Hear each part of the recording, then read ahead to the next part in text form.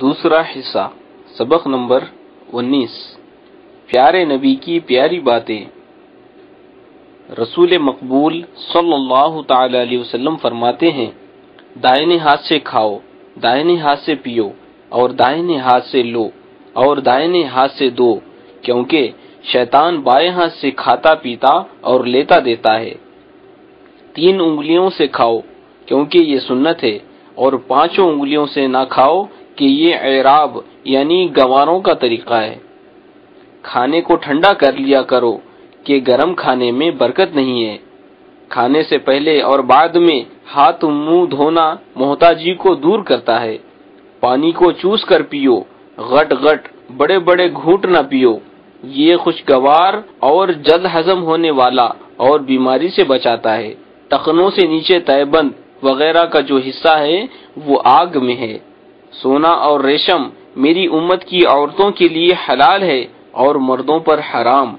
اس مرد پر لعنت جو عورت کا لباس پہنے اور اس عورت پر لعنت جو مرد والے کپڑے پہنے۔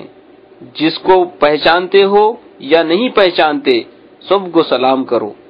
جب دو مسلمان مسافہ کریں اور اللہ کی حمد کریں اور استغفار کریں، تو دونوں کی بخشش ہو جائے گی۔ جمائی شیطان کی طرف سے ہے۔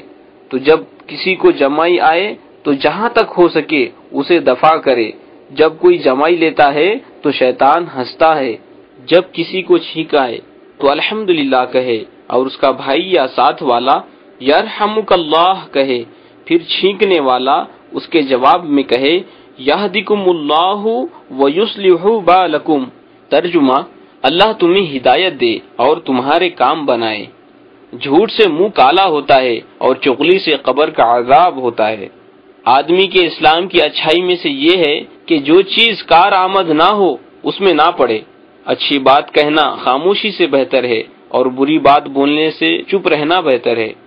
حسد ایمان کو ایسا بگاڑتا ہے جس طرح ایلوا شہد کو بگاڑتا ہے۔ مومن کے لیے یہ حلال نہیں کہ مومن کو تین دن سے زیادہ چھوڑ دے۔ پروردگار کی خوشی باپ کی خوشی میں ہے اور اس کی ناخوشی باپ کی ناخوشی میں۔ ماں باپ کی نافرمانی کرنے والا جنت میں نہیں جائے گا۔ جہاں کہیں رہو، خدا سے ڈرتے رہو۔ اور برائی ہو جائے تو اس کے بعد نیکی کرو۔ یہ نیکی اسے مٹا دے گی اور لوگوں سے اچھے اخلاق کے ساتھ پیش آؤ۔ ایمان میں زیادہ کامل وہ ہے جن کے اخلاق اچھے ہوں۔